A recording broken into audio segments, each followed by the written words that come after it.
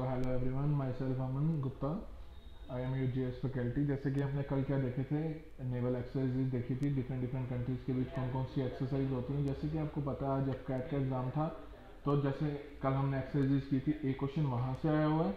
और जो हमने अपनी करंट अफेयर्स की क्लासेस स्टार्ट की थी, जो हमें बंद करनी पड़ी, आपका रिस्पॉन्स अच्छा नहीं था बट जितनी भी क्लासेस की थी, तीन चार वहाँ से क्वेश्चन आए हुए हैं। आप जाके देख सकते हो कि वहाँ से क्वेश्चन आए हुए हैं। इसलिए अब हमने क्या सोचा कि जो हमारा थोड़ा बहुत एक्सपीरियंस है, जो हमारे एक्सपीरियंस से हमें लगता है कि जो इंपॉर्टेंट है तो वो वो टॉपिक चला रहे हैं। अब हमें लगता है कि इंटरनेशनल ऑर्गेनाइजेशन पे क्वेश्चन आ सकते हैं।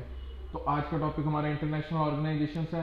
बाकी अगर आप चाहते हो कि हम करंट अफेयर्स फिर से स्टार्ट करें तो आप हमें कमेंट सेक्शन में भी बता सकते हो कि कौन से करंट अफेयर्स हमें स्टार्ट करने चाहिए या नहीं करने चाहिए। देखो, अगर आप अब कैट का पेपर देखो मैच करो उसको, जो हमारी पाँच दस क्लासेज हुई हैं करंट की, उनमें से मोस्टली रिलेट करने को मिलेगा, आपको पाँच या छः क्वेश्चन आपको देखने को मिलेंगे। तो आज का टॉपिक जैसे हमारा क्या इंटरनेशनल ऑर्गेनाइजेशन सबसे पहले इंटरनेशनल ऑर्गेनाइजेशन कौन सी है? सार्क कंट्रीज़ जिसकी फुल फॉर्म क्या है? South Asian association of regional cooperation ये क्या है? सार्क की फुल फॉर्म हेडक्वार्टर्स कहाँ पर है? इसके काठमांडू कहाँ पे नेपाल में। ये क्वेश्चन आपके पिछले साल एस में भी पूछा गया है कि हेडक्वार्टर्स कहाँ पर है सार्क कंट्रीज़ के। तो याद रखना हेडक्वार्टर्स कहाँ पर है? काठमांडू, नेपाल में। इसकी स्टैब्लिशमेंट कब हुई थी? 8 दिसंबर 1985 में। कंट्रीज़ कौन कौन सी हैं? अफ़गानिस्तान, पाकिस्तान, इंडिया, नेपाल, भूटान, मालदीवस, सिंगापुर और बर्मा। और इसी को आप याद रख सकते हो, एक ट्रिक से अपनी एमबीबी ऐसे याद रख सकते हो। अफ़गानिस्तान, पाकिस्तान, नेपाल, इंडिया, मालदीवस, बर्मा, भूटान और सिंगापुर। ये होगी कि आपकी सारी कंट्रीज़ वैसे नेक्स्ट ऑर्गेनाइजेशन देखो हमें वही ऑर्गेनाइजेशन ली है जो हमें लगता है इंपॉर्टेंट है, जो रिसेंटली न्यूज़ में थी। तो उन्हीं को पढ़ेंगे हम, ठीक है, जहाँ से क्वेश्चन बनने के चांसेस हैं। सो नेक्स्ट क्या है बीमस्टेक पहले बीमस्टेक की फुल फॉर्म क्या है? Bay of Bengal initiative for multi sectoral technical and economic cooperation headquarters कहाँ पर है? इसके ढाका कहाँ पर है? बांग्लादेश में स्टैब्लिशमेंट कब हुई थी? 6 जून 1997 में। मेंबर्स कौन कौन है? बांग्लादेश, भूटान, इंडिया, म्यांमार, नेपाल, श्रीलंका और थाईलैंड। इसका क्या है? एमबीबीएस नीट एमबीबीएस से आप याद रख सकते हो और नीट को वाले जो स्टूडेंट्स होते हैं उसके नीट से याद रख सकते हो कि अभी बिम्स्टेक कंट्री कौन सी आ गई? म्यांमार, बांग्लादेश, भूटान, श्रीलंका, नेपाल, इंडिया और थाईलैंड। म्यांमार ने कब ज्वाइन किया था? 1997 को। वैसे नेपाल और भूटान ने कब ज्वाइन किया था बिम्स्टेक को? 2004 में। नेक्स्ट की तरफ़ मूव करते हैं, जिसको आप कहते हो Asian countries association of south eastern Asian nations इसके हेडक्वार्टर्स कहाँ पे जकार्टा इंडोनेशिया में। एस्टेब्लिशमेंट कब हुई थी इसकी? 8 अगस्त 1967 में। इसकी कंट्रीज़ कौन कौन सी है? Brunei Cambodia Indonesia Laos Malaysia Myanmar Philippines Singapore Thailand और वियतनाम इसको आप एक ट्रिक इसकी भी याद करने की क्या ट्रिक है? MBBS watch Philips TV and by LIC ठीक है एम बी बी एस से क्या हो जाएगा मलेशिया बुरनई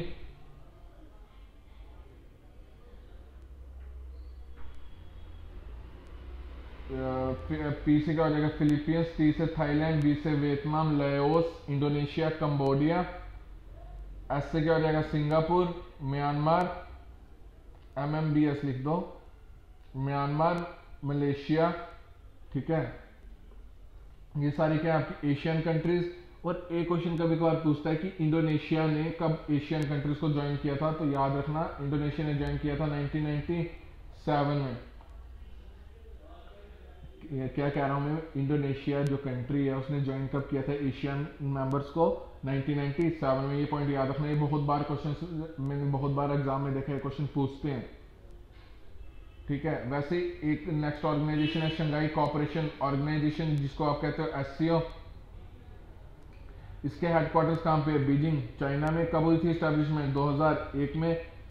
इसके मेंबर्स कौन कौन है? China India Kazakhstan Kyrgyzstan, Russia, Pakistan, Tajikistan and Uzbekistan.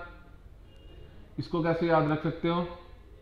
रुक, काट, इंडिया। चाइना और पाकिस्तान को। इंडिया, चाइना, पाकिस्तान, ये चार आ गए। Russia, Uzbekistan, Kyrgyzstan, Kazakhstan Uzbekistan और तजाकिस्तान हो गए सारे members Russia, Uzbekistan, Kazakhstan Kyrgyzstan Tajikistan India, China और पाकिस्तान, ये सारे इसके क्या आ मेंबर्स और इसके फोर ऑब्जर्वर जो सिर्फ़ मेंबर्स नहीं है, जो सिर्फ़ ऑब्ज़र्व करते हैं इसके काम को कौन कौन है वो?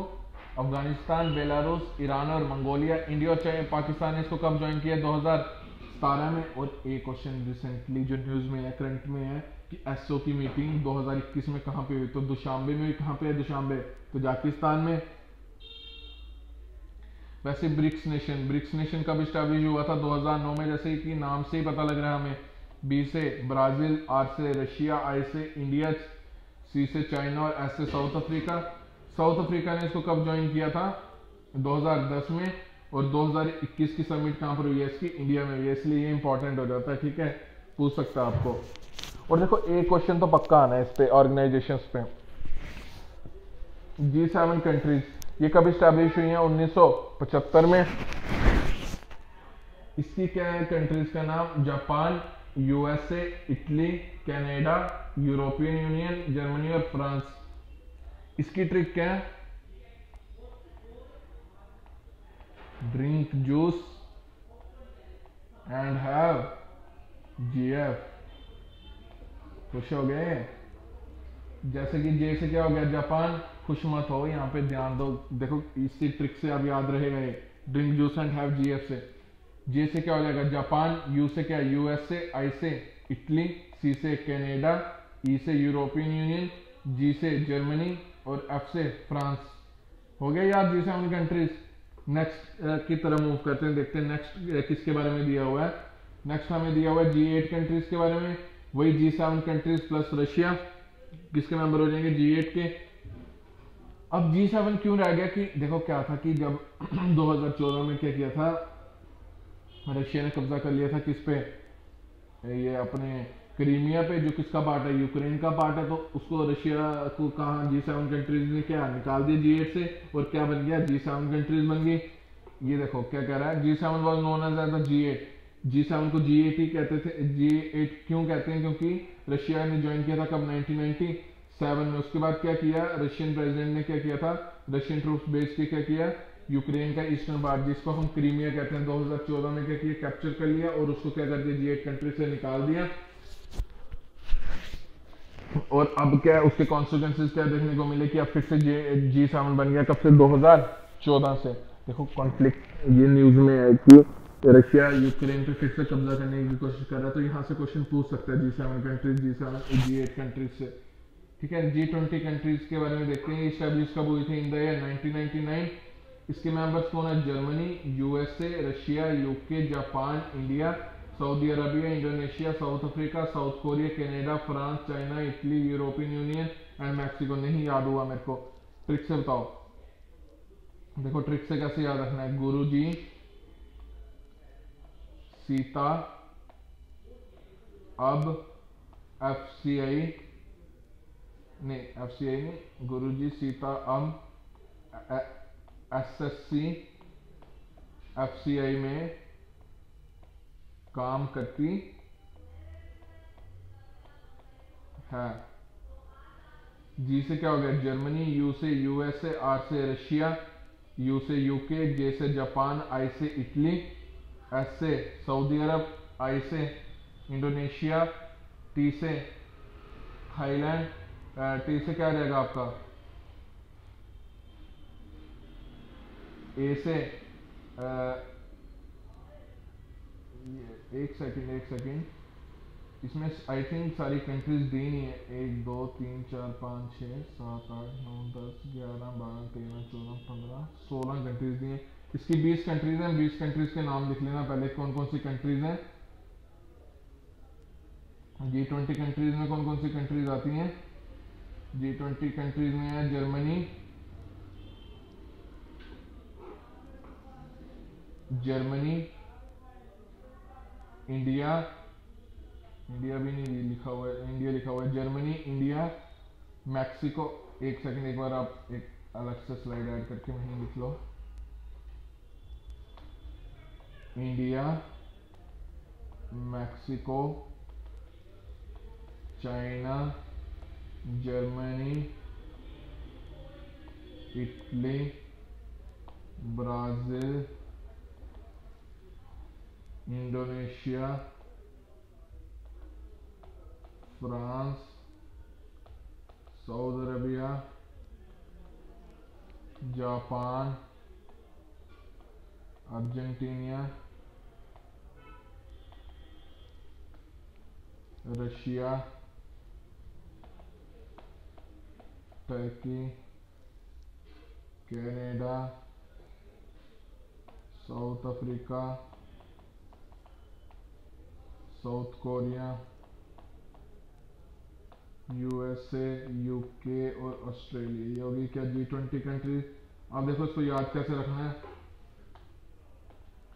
गुरु जी सीता, अब एसएससी एफसीआई में काम करती है। जी से जर्मनी यू से यूएसए यू से यूके आर से रशिया, जे से जापान, आई से इटली, एस से सऊदी अरब, दूसरे आई से इंडोनेशिया, टी से टर्की, ए से अर्जेंटीना दूसरे ए से।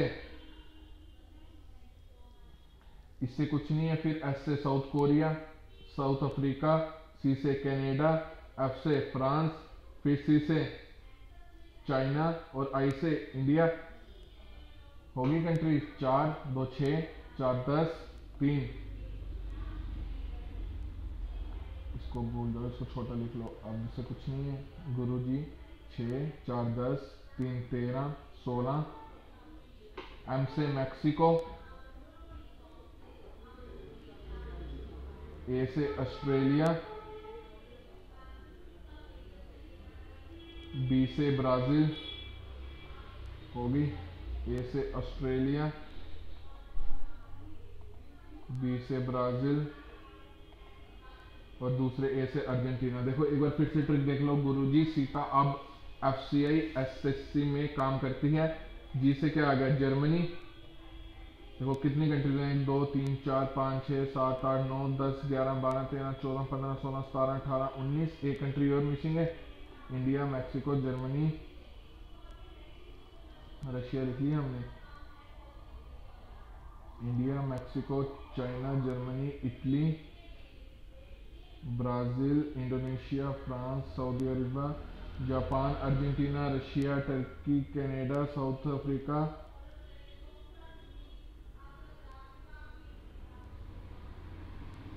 South Africa, UK, US, Australia और यूरोपियन यूनियन।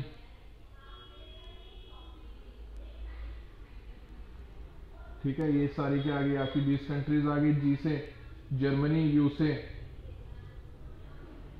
देखो क्या है जी ट्वेंटी कंट्रीज़ कैसे याद रखनी है? गुरु जी ये इंपॉर्टेंट क्यों हो जाती है? क्योंकि इस बार जी ट्वेंटी की मीटिंग इंडिया में ए, इस बार तो कहाँ पर है? इंडोनेशिया में अगले साल 2023 में कहाँ पर है? इंडिया में इसलिए ये इंपॉर्टेंट हो जाती है। तो याद रखना जी से क्या है? जर्मनी यू से। यूएसए आर से रशिया यू से यूके जे से जापान आई से इटली दूसरे एस से सऊदी अरबिया आई से एक से इटली हो गया, दूसरे से क्या है? इंडोनेशिया, फिर टी से टर्की, ए से अर्जेंटीना, दूसरे ए से ऑस्ट्रेलिया, बी से ब्राज़ील, एस से South Korea, South Africa, China, France France के साथ कनाडा कनाडा के बाद इंडिया, मैक्सिको और यूरोपियन यूनियन। ठीक है, ये आ गई आपकी क्या, बीस कंट्रीज़ अब इसके बारे में पढ़ लेते हैं, क्या लिखा हुआ है? ये वाली याद नहीं रखना जो मैंने आगे स्लाइड में लिखी है बीस कंट्रीज़ वो हैं, इसमें कम है, थोड़ी बहुत पंद्रह ही है, ठीक है? 2021 की जो समिट हुई है जी ट्वेंटी की, वो कहाँ पर हुई है? रोम, इटली में। 2022 की कहाँ पर है? इंडोनेशिया में, बाली में। और 2023 की कहाँ पर है? इंडिया में। तो याद रखना जी ट्वेंटी कंट्रीज़ ये सारी क्या जी ट्वेंटी कंट्रीज़ और ये ट्रिक बता दी मैंने किस तरह से याद रखनी है आपको जी ट्वेंटी कंट्रीज़ ठीक है? वैसे वर्ल्ड इकोनॉमिक फोरम की बात करते हैं डब्ल्यू इसके हेडक्वार्टर्स कहाँ पे हैं जिनेवा कहाँ पर है। स्विट्जरलैंड में कब स्टैब्लिश हुआ था? 24 जनवरी 1971 को। वैसे नेक्स्ट ऑर्गेनाइजेशन की तरफ़ मूव करते हैं। क्या पूछी हुई है? Interpol international criminal police organisation कहाँ पर है इसके हेडक्वार्टर्स लियोन कहाँ पर है। फ्रांस में स्टैब्लिशमेंट कब हुई थी? उन्नीस में कितने मेंबर कंट्रीज़ हैं? 190 फोर मेंबर कंट्रीज़ हैं। वैसे आईयूसीएन देखो ये क्वेश्चन आपको रिसेंटली जूनियर असिस्टेंट में पूछा था कि आईयूसीएन की फुल फॉर्म क्या है? इंटरनेशनल लिखी हुई है international union for conservation of nature ठीक है, ये रिसेंटली क्वेश्चन आया हुआ था कहाँ पे? जूनियर असिस्टेंट में। तो इसके हेडक्वार्टर्स कहाँ पर हैं? इंग्लैंड स्विट्जरलैंड में। इस्टेब्लिश कौन से? नाइनटीन फोर्टी एट में इसका क्या हुई है? इस्टेब्लिशमेंट हुई है। वैसे ही नेक्स्ट स्लाइड की तरफ़ मूव करते हैं, देखते हैं नेक्स्ट स्लाइड में क्या दिया हुआ है। नेक्स्ट स्लाइड में क्या दिया हुआ है आपका? एशियन डेवलपमेंट बैंक जिसको आप एडीबी के नाम से जानते हो, इसके हेडक्वार्टर्स कहाँ पे हैं? फिलीपींस में इसके हेडक्वार्टर्स ठीक है? वैसे ही नेक्स्ट की तरफ़ मूव करते हैं, जिसमें क्या दिया हुआ A I I B A I I B Asian infrastructure and investment bank इसके हेडक्वार्टर्स कहाँ पर हैं? बीजिंग चाइना में कब इस्टेब्लिश हुआ था? दो हज़ार सोलह में कितनी मेंबर कंट्रीज़ हैं? एक सौ तीन। तो आज के यही है क्या हमारी इंपॉर्टेंट इंटरनेशनल ऑर्गेनाइजेशंस बाकी आप देख सकते हो कैट का पेपर जो हमने क्लासेस की थी, वहाँ से क्वेश्चंस आए हैं। इसीलिए जो थोड़ा बहुत हमारा एक्सपीरियंस कहता है तो आप हमें फॉलो कर सकते हो। हमें जो टॉपिक्स इंपॉर्टेंट लगते हैं, हम उसी पे वीडियोस बना रहे हैं। मैथ्स मैथ्स के भी क्वेश्चन आए हैं, जो आप जो कोचिंग भी ले रहे हैं ऑफलाइन उनको भी पूछ सकते हो, जो टॉपिक्स हमने क्लास में किए हैं हिस्ट्री के वहाँ से क्वेश्चन आए हुए हैं करंट के क्वेश्चंस भी आए हुए हैं, जो हमने पढ़े थे। ठीक है, एक क्वेश्चन हमने रिसेंटली पढ़ा क्या था कि जैसे चाइना इंडिया के आगे पीछे क्या बना रहा है स्ट्रिंग ऑफ़ पल्स तो उसी को काउंटर करने के लिए इंडिया उसके लिए सामने क्या बना रहा है डायमंड ऑफ़ नेकलेस ये हमने डिस्कस किया था कब?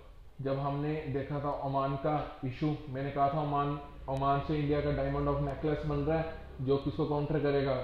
स्ट्रिंग ऑफ़ पल्स को। तो इंडिया का क्या था? डायमंड ऑफ़ नेकलेस बना रहा है। किसको काउंटर करने के लिए स्ट्रिंग ऑफ़ पल्स को? ये क्वेश्चन पूछा हुआ है। ऐसे ही फर्दर क्वेश्चन और भी क्वेश्चन पूछे हुए हैं, जो हमने क्लास में डिस्कस किए थे।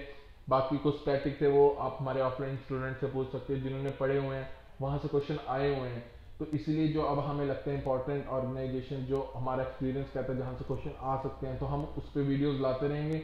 बाकी अगर आप चाहते हो, हम करंट फेयर रेगुलर करें तो आप हमें कमेंट सेक्शन में भी बता सकते हो। So thank you class